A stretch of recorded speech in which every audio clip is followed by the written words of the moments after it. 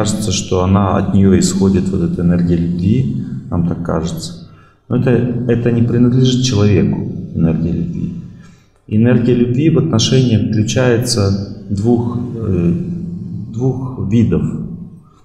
То есть один вариант – это энергия, которая соединяет людей, которым положено быть вместе по судьбе. Она соединяет просто. Она не обозначает, что будет счастье. Она обозначает, что люди должны быть вместе. Но эта энергия из любви, она очень сильно вдохновляет. То есть кажется, что будет счастье. Но будет просто совместная жизнь. Там, конечно, будет и счастье, но также будет страдание. Это энергия любви, которую мы ждем.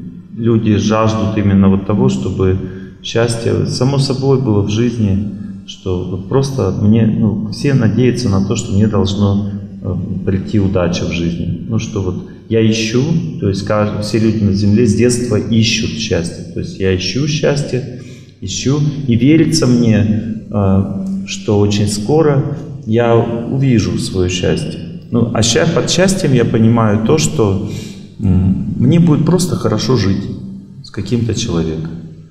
Это иллюзия.